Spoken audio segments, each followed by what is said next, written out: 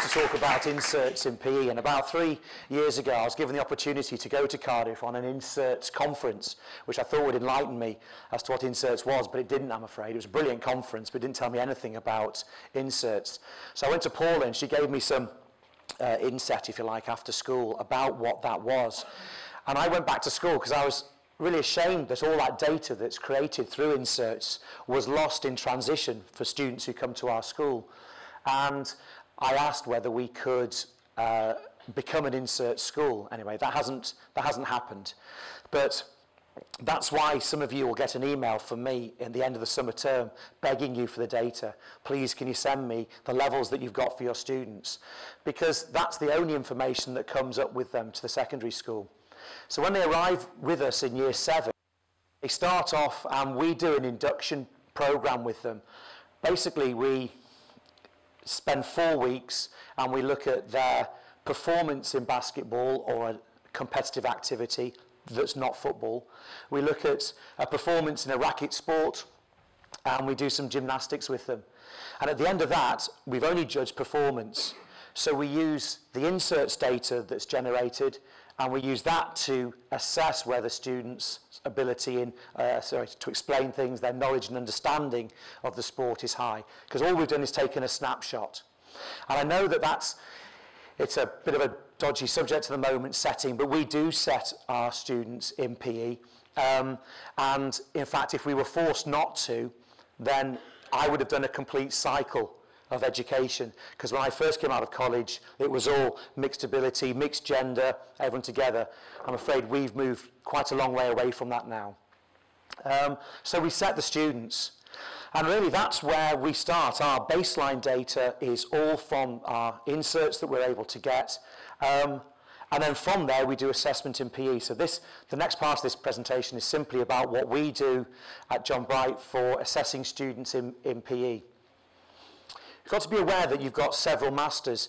We want to have data so that we know whether our teaching and learning is effective and uh, on how well the students are progressing. But it's also data because other people will scrutinise how well we're doing. And so we have to be aware that data is used by a range of diff different people in different ways. In terms of the students,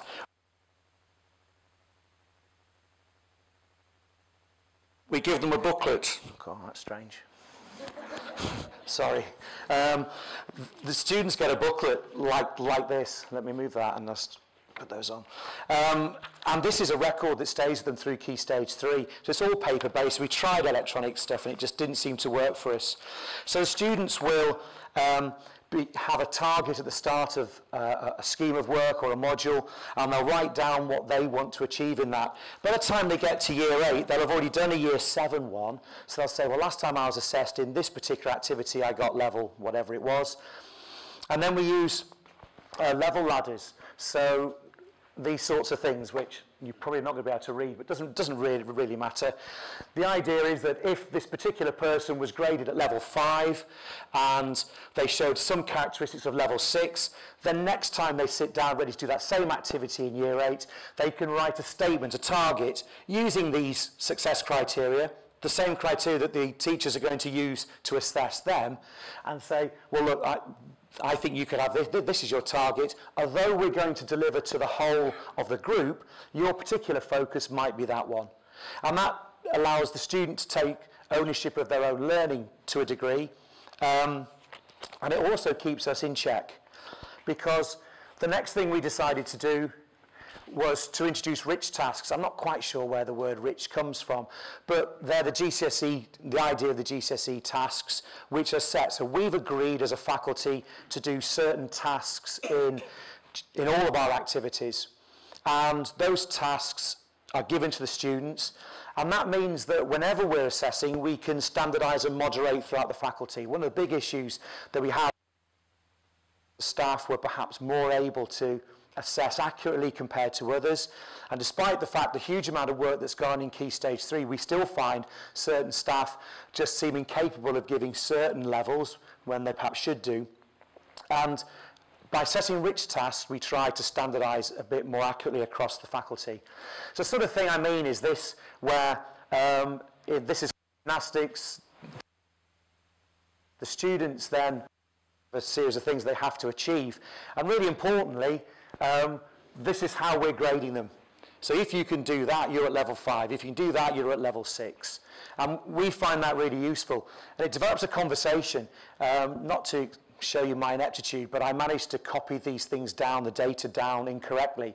And a group of students came straight down after that was then sent home and said, oh, you told me you were at level, I was at level six upper in this and you put down for a six lower. And I said, well, if you look in here, you're, oh yeah, you're right. Sorry about that. Um, and that was good because they are they actually know where they are and they know what they're doing um, in, in, in, our, in our subject. That's, um, it doesn't mean anything, it's just a floor plan. The point is that at the end of year nine, all students from all staff will do a sequence on that floor plan. We can record that using iPad and, uh, and show the teachers, well, what did you think of that? Well, I thought they were that grade and I thought these were that one. So that's what we're doing at the moment. I've mentioned a bit about data. We, um, as I said, don't do inserts, which is a great shame. We, we use a thing called SIMS, which is a, a huge package that most schools have used for registration. Um, and that's all we have for recording. So teacher assessments um, go onto a massive spreadsheet, which you won't be able to see. But these columns represent teacher assessments in different activities. And SIMS will add those up so all the competitive activities are seen in one place and the, the top competitive activity is marked. Then the same for health, fitness and well-being, creative and all the rest of it. In our school, we have six assessment points in a year. So six times a year, we will look at what we consider to be an average grade and put that down here saying, this is what we think this student will achieve by the end of the year. Um, and that's and that's scrutinized quite a lot, and I'll, put, I'll talk a bit more about that later on. But that happening six times gives us a real continual update on how well students are progressing uh, across the key stage. The other thing that we've started using now is something called 4Matrix. And when I said that data gives us several masters, the thing that, about 4Matrix is it allows other people to scrutinize what we do. So the previous slide was good for the student. 4Matrix delivers uh, something that looks a bit like, like this. And before I talk about the slide, this actually isn't a year nine one, this is a year eight one. So this year eight, what, what it does is it says if the students came in at a certain level and they're now at a certain level, then if they're in the green zone, they're on track to achieve three levels of progression. So if they left um, year six on a four upper, we would expect them to do five upper, six upper, seven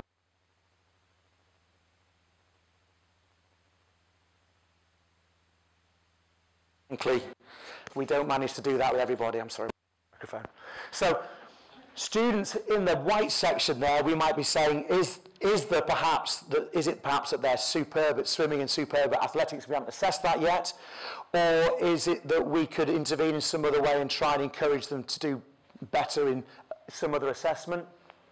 If they're green, we're happy, and if we're purple, we're really happy. Unfortunately, I said this is a year eight one. What happens when they get to year nine is they all tend to slide this way a little, a, a little bit. But my conversation in school with my line manager will be about this, using this thing called four matrix. And really it's very simple in Key Stage 3. It's absolutely brilliant for, uh, for assessing examination groups.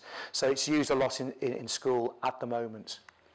Um, I mentioned intervention because I think it's really important that um, it's not seen as we're just measuring students and, and, and watching. There is, the whole point of this is, is that there is intervention.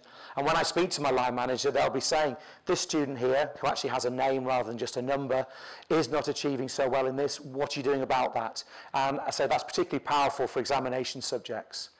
Um, and the final thing we're doing at the moment I said it's difficult for us to achieve three levels of progression. We're just not a school that seems to be able to do that, whether that's my fault or our fault or the students or whatever it is, we really struggle. Some students do, but not all students.